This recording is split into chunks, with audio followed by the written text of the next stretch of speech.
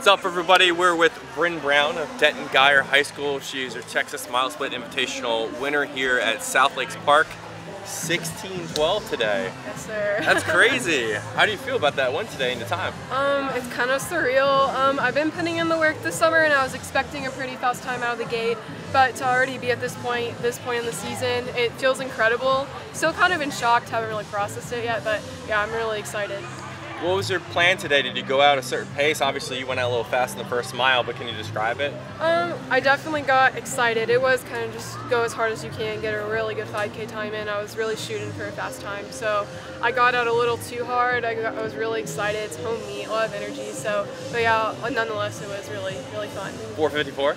Yes, sir. did you did you feel like you had to make up for it though? It felt like you were strong the whole way through, right? Um, not. Yeah, I felt pretty strong, surprisingly, for going out that hard. So yeah, it kind of it was an indicator too that was a true 5K too. So yeah, I'm really really excited with the time and just everything. I think the team did well too. So yeah.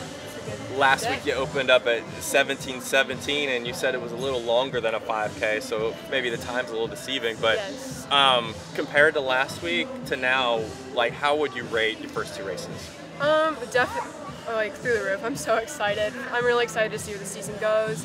Um, I was really disappointed because when I crossed the line in over 17 minutes, I was kind of a little like like suspicious because I had my watch and I was getting these splits and I was like, oh yeah, I'm gonna run fast. And then I was like, where's the finish line? And then definitely I crossed it at um, 17, 17, which isn't a bad time, but it was just a little disappointing because I knew I could go a little faster. But yeah, to get this time today is really special you had a great track season, you had a great off season, you went to Nike Elite Camp, and now you, where do you feel like in your in your career right now and in your your season? Like, how do you feel about you moving forward and what you want to do?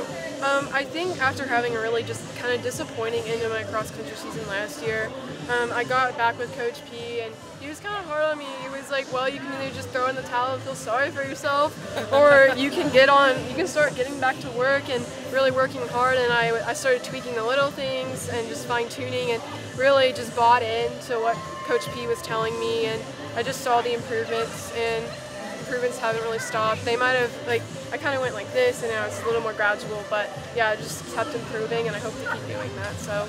So a lot of people see you as having a great year this year. Obviously, you got a lot left. McNeil next. Yes, sir. Right, and then what's what's the season look like after McNeil? Okay, so McNeil will be my last like pre-postseason race, and then I'll have district, region, state, and then instead of doing both this year, I'm just gonna go all in with Nike. So and really try to get a good effort at makes sense. So. What's what's the reason behind that mostly? Uh, just because last year I was feeling a little drained. Um, just five races in a row. I don't think I was ready for that. And just this, my season started like mid-August last year. But this year I definitely just I want to go all in in Nike and just really see what I can do. All right. Back. well, guys, Brynn Brown here at Texas Mile Split Invitational. You'll see her again later toward the end of the season. Thanks for watching. Thank you. Thank you. Appreciate it.